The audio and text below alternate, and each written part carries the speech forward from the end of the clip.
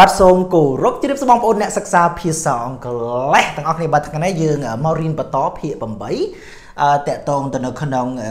មេរៀនគុណនាមបូកនឹង preposition ដដែលណាបងប្អូនដែលមិនទាន់មើលភាគ1យើងដល់ភាគ8ហើយគឺបានចូល100 clear ជាងហើយបងប្អូនណាបើគិតទៅអញ្ចឹងស៊ូស៊ូរៀនទាំងអស់គ្នាណាបងប្អូនបាទអូខេតោះឥឡូវដើម្បីកុំឲ្យខាតពេកយើងចូលមកតែម្ដងបាទ clear ទី1នេះគឺ ប្រើពាក្យថា full of oneself បាទពាក្យថា full of oneself យើងប្រើថាមោទនភាពលើខ្លួនឯងខ្លាំងដែលមានមោទនភាពលើខ្លួនឯងខ្លាំងគេហៅថា full of oneself ពាក្យថា oneself កន្លែងនេះប្រែថាខ្លួនឯងណា full of oneself ឧទាហរណ៍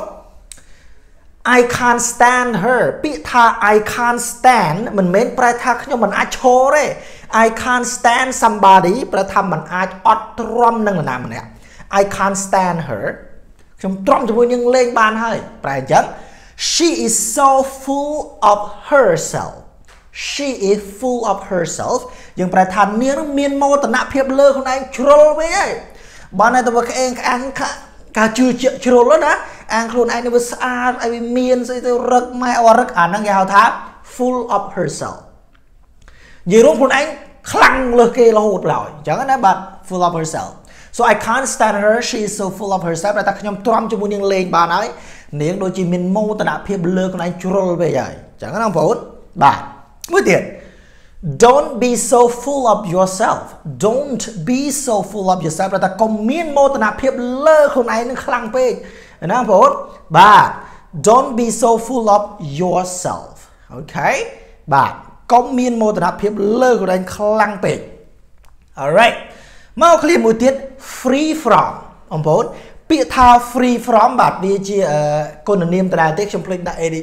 adjective យើងប្រែថារួចចាកពីឬក៏រួចផុតពី free from អូខេ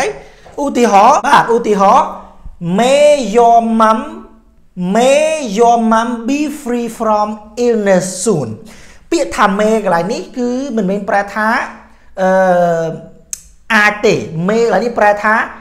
សូមឲ្យគឺជូនពរគឺពាក្យ may ណា may your mom សូមឲ្យម្ដាយរបស់អ្នក be free from illness soon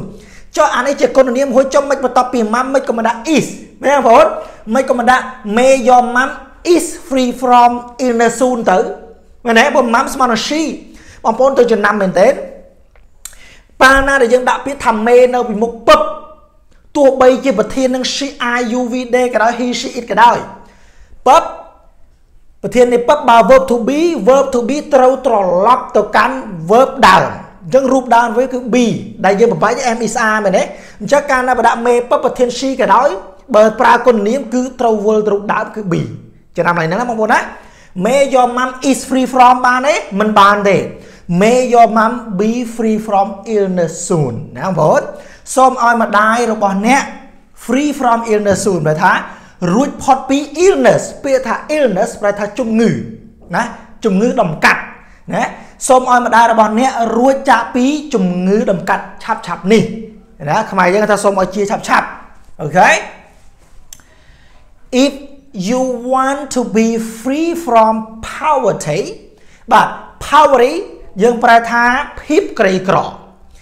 if you want to be free from poverty យើងប្រែថាប្រសិនបើអ្នកចង់ free from poverty យើងប្រែថារួចផុតពី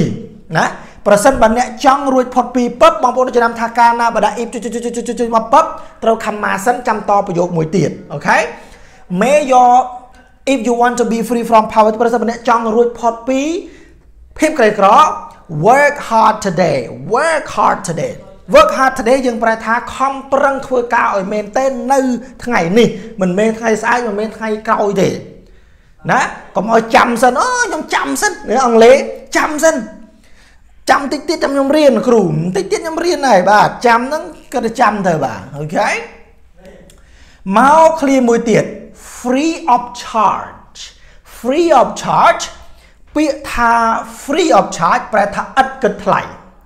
ឥតគិតថ្លៃ free of charge អូខេឧទាហរណ៍ this book is free of charge អញ្ចឹងយើងដាក់មកប្រធានពឹប is ពឹប free of charge យើងប្រែថាឥតគិតថ្លៃអញ្ចឹង this book is free of charge យើងប្រែថាសៀវភៅនេះគឺឥតគិតថ្លៃទេ you can get it okay it's free of charge it's free of charge so when you study in the YouTube ដែលរៀន it is free of charge you know okay បា ទចាំប្រែថាសភៅនេះឥតគិតថ្លៃទេណា free the delivery is free of charge ពាក្យថា delivery យើងប្រើថាចែកចាយតំណែងអីចឹង deliver delivery គឺការដឹកជញ្ជូនឬការចែកចាយណាយកដឹកជញ្ជូនហ្នឹង is free of charge គឺឥតគិតថ្លៃ so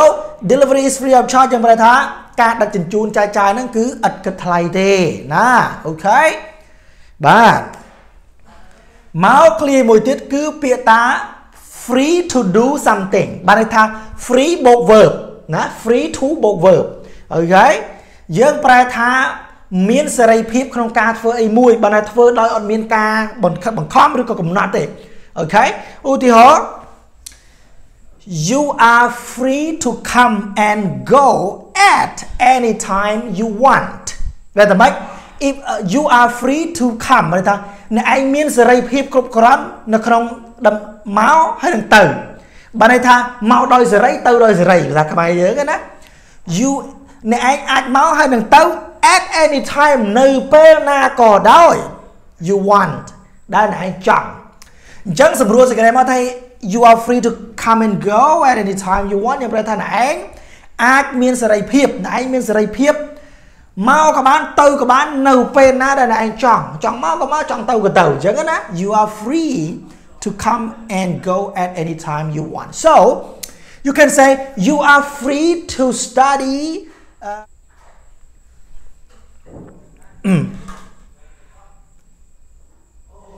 បាទមកមួយប្រយោគទៀត please feel free to let me know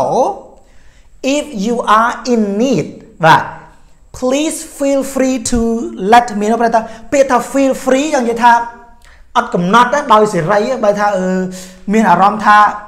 អត់មានសម្ពាធអីគេប្រើពាក្យ feel free to do something ណាកន្លែងនេះបងប្អូនអញ្ចឹងពាក្យថា feel កន្លែងនេះយើងបន្ទាប់ពី feel ពឹបបូកនឹងគុណនាមបានអញ្ចឹងហើយបានវាអត់មានដាក់ verb to be ណាបងប្អូន feel អាចបូកជាមួយនឹងគុណនាមបោថា I feel sad she feels sad she feels happy អញ្ចឹង feel ពឹបបូកគុណនាមបានមិនបាច់ត្រូវការ verb to be ទេអូខេ please feel free to let me know ព្រោះថាសូមថាមានចិត្តបែបមានសេរីភាពណាគេហៅថាអត់ស្ទាក់ស្ទើរក៏បានដែរពេល feel free មានអារម្មណ៍ថាខ្មែរយើងគេហៅថាម៉េចបងប្អូន please feel free to let me know ថាអឺសូមមានអារម្មណ៍ថា កុំតានតឹងណាមានអារម្មណ៍ថាអឺកុំតានតឹងនៅក្នុងការ let me know ឲ្យខ្ញុំដឹង when you are in need នៅពេលដែលឯង in need ពាក្យថា in need វាត្រូវការជំនួយអញ្ចឹងនិយាយណាបាទសូមបើកចិត្តឲ្យទលាយក៏បានដែរ feel free សូមបើកចិត្តទលាយប្រាប់ខ្ញុំមកណាប្រាប់ខ្ញុំដឹង let me know ប្រាប់ខ្ញុំឲ្យដឹង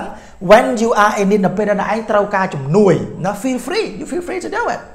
កុំមានអារម្មណ៍តានតឹងកុំមានអារម្មណ៍ស្ទាក់ស្ទើរអត្តន័យវាណាបងប្អូនបាទ អូខេមកឃ្លាមួយទៀត guilty about បាទពាក្យថា guilty about ឬក៏ guilty of ប្រើបានពីរ style ហ្នឹងណាបងប្អូនយើងប្រែថាសោកស្ដាយដែលចុចចុចចុចចុចចុចចុចចុចណា guilty about ឬក៏ guilty of អូខេឧទាហរណ៍ I feel so guilty នេះអា feel នេះបងប្អូនចំណាំអញ្ចឹងយើងអាចដាក់ថា I feel am guilty ទេឬក៏ I am feel guilty អត់ទេបងប្អូន feel ពឹបបើជាគុណនាមមិនបាច់ត្រូវការ verb to be ទេមិនបាច់ទេណាវាលើកលែងណាចំណាំឡើយហ្នឹង I feel so guilty ប៉ុន្តែឧទាហរណ៍ថានាង she feel ថែម s កន្លែងនេះ she feels so guilty អញ្ចឹងបងប្អូន she or I feel so guilty about forgetting her birthday her birthday អញ្ចឹង I feel so guilty about forgetting her birthday ខ្ញុំប្រែថាម៉េចខ្ញុំមានអារម្មណ៍ថាសោកស្ដាយណាស់ដែលនេះ forgetting about ពឹបបើ verb បើ ing ណា forgetting about forgetting អញ្ចឹងខ្ញុំមានអារម្មណ៍ថាសោកស្ដាយណាស់ដែលភ្លេច her birthday នៅខួបកំណើតរបស់របស់នាងចឹងខ្ញុំមានអារម្មណ៍ថាសោកស្ដាយមែនទែនដែលភ្លេចខួបកំណើតរបស់នាង I feel so guilty about forgetting her birthday អូខេបាទមួយទៀតយើងអាចនិយាយថាអឺ clear មួយទៀត Are you guilty of what you have done to your mom យើងអាចប្រើពាក្យហ្នឹងណា Okay are you guilty of what you have done to your mom ដែលតើអ្នកមានអារម្មណ៍ថាសោកស្ដាយទេដែលណាដែលបាននៅអ្វីថ្ងៃនេះយើងអាចយល់ន័យថានៅអ្វី Are you guilty of what you have done to your អាចប្រែថាតើអ្នកមានអារម្មណ៍ថាសោកស្ដាយចំពោះអ្វីនេះវត្តនេះ ចំពោះអ្វីដែលអ្នកបានធ្វើ to your mom ទៅកាន់ម្ដាយរបស់អ្នកទេអញ្ចឹងហេតុអីបាននេះប្រើ present perfect ព្រោះគេនឹងអាចធ្វើអំពើអាក្រក់ណាមួយចំពោះម្ដាយហើយក៏អាចធ្វើនៅថ្ងៃអនាគតបានអញ្ចឹងគេប្រើពាក្យ present perfect បងប្អូនរៀន grammar មួយខ្ញុំដឹងហើយណា So are you guilty of what you have done to your mom Are you guilty of uh of what you have told you have talked to me យើងអាចប្រើ ដូរប្រធានទៅដូរកិរិយាសព្ទទៅធ្វើអីធ្វើទៅស្អែកយើងបងប្អូនបាទបាទមក clear មួយទៀត fond of fond of ពាក្យថា fond of យើងប្រែថាចូលចិត្តខ្លាំង fond of អូខេបាទ My mom is really fond of Thai movie My mom is really fond of Thai movie អញ្ចឹង fond ប្រើជាមួយ of ណា ម្ដាយរបស់ខ្ញុំ is really fond of Thai movie យើងប្រែថាម្ដាយខ្ញុំពិតជាចូលចិត្តរឿងថៃមែនតើរឿងថៃនឹងកំ pl ែងរឿងស្នេហាឲ្យតែរឿងថៃគឺមើលទាំងអស់ So my mom is really fond of Thai movie okay យើងអាចប្រើពាក្យថា I am really fond of you បានណាខ្ញុំចូលចិត្តអ្នកខ្លាំងមែនទេនេះវាចង់ចូលជំរុញស្នេហាបងប្អូនបាទ My dad is really fond of Ronaldo ហ៎ម៉ែខ្ញុំចូលចិត្តមើលរឿងថៃរីឯប៉ាប៉ាខ្ញុំគឺចូលចិត្ត Ronaldo ខ្លាំងមែនទេណា My dad is really fond of Ronaldo. Ronaldo okay? But so uh that's all for today. If you think that video is uh good please like and subscribe my channel and you can share this video to the other student as well okay? Thank you so much. That's all for today. Goodbye